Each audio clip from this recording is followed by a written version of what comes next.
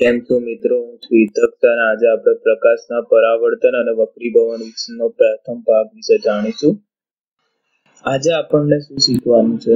આપણને સૌથી પહેલા પ્રકાશના પરાવર્તનના નિયમો વિશે જાણવાનું છે. એના પછી આપણે ગોળીય અરીસાઓ વિશે જાણવાનું છે. એના પછી આપણે ગોળીય અરીસા અને રિલેટેડ પદ વિશે જાણવાનું છે. એના પછી આપણે ગોળીય અરીસાના ભાગ એટલે કે અંતર્ગોળ અને બહિર્ગોળ અરીસાના ઉપયોગો વિશે જાણવાનું હવે આપણે પ્રકાશના પરાવર્તન એટલે કે રિફ્લેક્શન ઓફ લાઇટ વિશે જાણીએ સૌથી પહેલા આપણે પ્રકાશના પરાવર્તનના નિયમો એટલે કે લોઝ ઓફ રિફ્લેક્શન વિશે જાણીએ. સૌથી પહેલો લો એ છે કે આપાત કોણ અને પરાવર્તન કોણ સમાન હોવા જોઈએ. એટલે કે angle of incident equal to angle of reflection angle of incident એ હોય છે જે ઇન્સિડન્ટ રે નોર્મલ જોડે બનાવે અને એંગલ ઓફ રિફ્લેક્શન એ હોય છે જે રિફ્લેક્ટેડ લે નોર્મલ જોડે બનાવે. જેવી રીતે આપણે જોઈ શકીએ છીએ આપાત કોણ પરાવર્તન કોણ સમાન હોવા જોઈએ એટલે કે આઈ ઇક્વલ ટુ આર પ્રકાશના પરાવર્તનનો બીજો નિયમ છે કે આપાત કિરણ અરીસાના આપાત બિંદુએ સપાટીને દોરેલ લંબ અને પરાવર્તિત કિરણ એ બધા એક જ સમાતળમાં હોય છે. એટલે કે આપાત કિરણ ઇન્સિડેન્ટ રે લંબ એટલે કે નોર્મલ અને પરાવર્તિત કિરણ એટલે કે રિફ્લેક્ટેડ રે. એ ત્રણે ત્રણ એક જ પ્લેનમાં હોવા જોઈએ. હવે આપણે ગોળિયા અરીસાઓ એટલે કે સ્પેરિકલ મિરર વિશે જાણીશું. બે પ્રકારના ગોળિયા અરીસાઓ હોય છે. એક હોય છે અંતરગોળ અરીસો અને બીજો હોય છે બહિર્ગોળ અરીસો. અંતરગોળ અરીસોને અંગ્રેજીમાં કોન્કેવ મિરર અને બહિર્ગોળ અરીસોને કોન્વેક્સ મિરર કહેવાય. હવે આપણે ગોળિયા અરીસાઓ વિશેના પદ વિશે જાણીએ. એટલે કે terms related to curved mirror. આપણે સૌથી પહેલા ધ્રુવ એટલે કે પોલ વિશે ભણીશું. આપણે કોઈએ ગોળિયા અરીસાની પરાવર્તક સપાટીના કેન્દ્રને અરીસાનું ધ્રુવ કહીએ છીએ, તેને આપણે પી વડે દર્શાવીએ છીએ. હવે આપણે મુખ્ય અક્ષ એટલે કે પ્રિન્સિપલ એક્સિસ વિશે ભણીશું.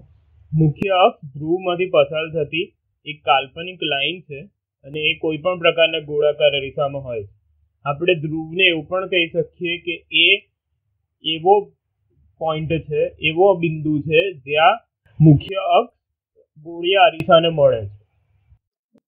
હવે આપણને મુખ્ય કેન્દ્ર એટલે કે ફોકલ પોઈન્ટ અને કેન્દ્ર લંબાઈ એટલે કે ફોકલ લેન્થ વિશે જાણવાનું છે. અનંત અંતરેથી જે આવતી રેઝ હોય, એ અગર કોઈ એક પોઈન્ટ પર રિફ્લેક્ટ થઈને મળતી હોય કે મળતી હોય તેવું આપણને લાગે, તો એ પોઈન્ટને આપણે ફોકલ પોઈન્ટ કહી શકીએ.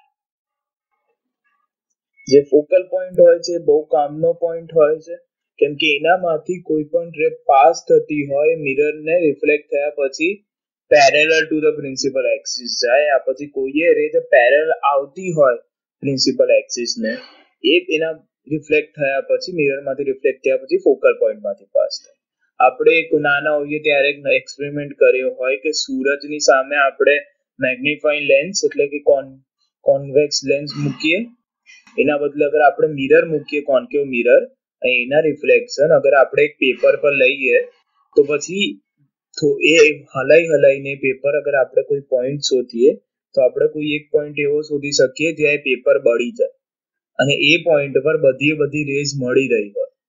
તો પછી એ જે પોઈન્ટ છે તેને આપણે ફોકલ પોઈન્ટ કહીએ. એને આપણે મોટા એફ વડે દર્શાવીએ છીએ. અને એફ અને પી વચ્ચેની જે અંતર હોય, તેને આપણે કેન્દ્ર લંબાઈ કહીએ. એ લંબાઈ એટલે કે ફોકલ લેન્થ એ લંબાઈને આપણે એફ વડે દર્શાવીએ. એફ નાનો એફ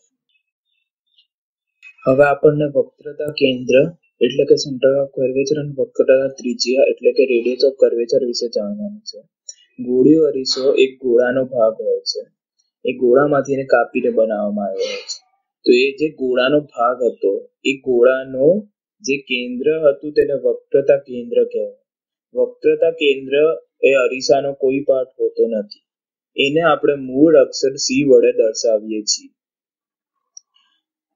આપણે બી અને સી વચ્ચે જે ડિસ્ટન્સ હોય, તેને આપણે વક્રતા ત્રિજ્યા કહીએ અને તેને આર વડે દર્શાવીએ છીએ આપણને એક બીજો કામનો સંબંધ છે જે યાદ રાખવાનો હોય છે કે R equal to two into F એટલે કે radius of curvature equal to two times of focal length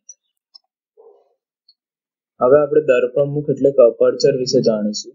આપણે ગોળી અરીસાની પરાવર્તક સપાટીની વર્તાકુલર સીમા રેખા ને વ્યાસને અરીસાનું દર્પણમુખ એટલે કે અપર્ચર કહેવાય. આપણા અભ્યાસક્રમમાં ફક્ત એવા જ અરીસા છે જેમનું દર્પણમુખ તેમની વક્ર ત્રિજ્યા કરતા ઘણું નાનું હોય. હવે આપણને અંતર્ગોળ અરીસાનો ઉપયોગ એટલે કે યુઝિસ ઓફ કોન્કેવ વિશે જાણવાનું છે. આપણે જાણીએ છીએ કે અંતર્ગોળ અરીસાઓના બહુ બધા ઉપયોગ હોય છે. તેનામાંથી પહેલો છે કે ટોર્ચ, સર્ચલાઇટ, વાહનોની હેડલાઇટમાં એ ઉપયોગ થાય છે. લાઈક ટોર્ચમાં જે ટોર્ચમાં જે પોઈન્ટ સોર્સ છે જ્યાંથી લાઇટ નીકળે છે, એને આગળ આપણે કોઈએ અરીસાના ફોકસ પોઈન્ટ પર લગાવી દઈએ. એટલે કે એની પાછળ, અરીસાની આગળ ફોકલ પોઈન્ટ પર લગાવીએ. તો જે લાઇટ નીકળે, એ સીધી પેરેલલ રેઝ નીકળે. અને એ ને આપણે કહી શકીએ કે આપણે શક્તિશાળી સમાંતર કિરણ જૂથ મેળવ્યું એ એનામાં ઉપયોગ થાય છે. એના પછી અંતર્ગોળ અરીસાનો ઉપયોગ દાઢી કરવાના ચહેરા અરીસા તરીકે ચહેરાનું મોટું પ્રતિબિંબ જોવા માટે કરવામાં આવે છે. એના પછી દાંતના ડોક્ટર અંતરકોળ, અરીસાનો ઉપયોગ દર્દીના દાંતનું મોટું પ્રતિબિંબ જોવા માટે કરે છે. એના પછી સૌર્યબત્તીમાં સૂર્યપ્રકાશને એક જગ્યાએ કેન્દ્રિત કરવા માટે મોટા અંતરગોળ અંતરગોળ અરીસાનો ઉપયોગ કરવામાં આવે છે. એનાથી જે પેરેલલ સનની રેઝ આવી રહી હોય, તેને ફોકસ ફોકલ પોઈન્ટ પર ફોકસ કરાવે અને તેનથી ગરમ થાય. એનાથી સૌર્ય એનર્જી મળે. એના પછી આપણે બહિર્ગોળ અરીસાના ઉપયોગો વિશે જાણવાનું છે. એટલે કે યુસીસ ઓફ કોન્વેક્સ મિરર બહિર્ગોળ અરીસાનો ઉપયોગ સામાન્ય રીતે વાહનોમાં પાછળ જોવા માટેના અરીસા તરીકે કરવામાં આવે છે.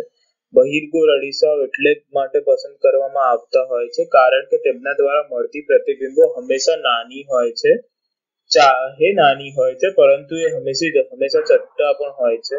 એટલે કે હંમેશા સીધી પ્રતિબિંબ મળે. સાથે સાથે તેમના દ્રષ્ટિ ક્ષેત્ર પણ વિશાળ મળે છે, કારણ કે તેઓ બહારની તરફ વક્રાકાર હોય છે. હવે આપણે આજે શું શીખ્યું? આપણે પ્રકાશના પરાવર્તનના નિયમો વિશે જાણ્યું. તેના પછી આપણે ગોળીય અરીસાઓ વિશે જાણ્યું. એના પછી આપણે ગોળીય અરીસાઓ વિશેના પદો વિશે જાણ્યું. એના પછી આપણે અંતર્ગોળ અરીસા અને બહિર્ગોળ અરીસાના ઉપયોગ વિશે જાણ્યું. આ વીડિયો જોવા માટે આભાર.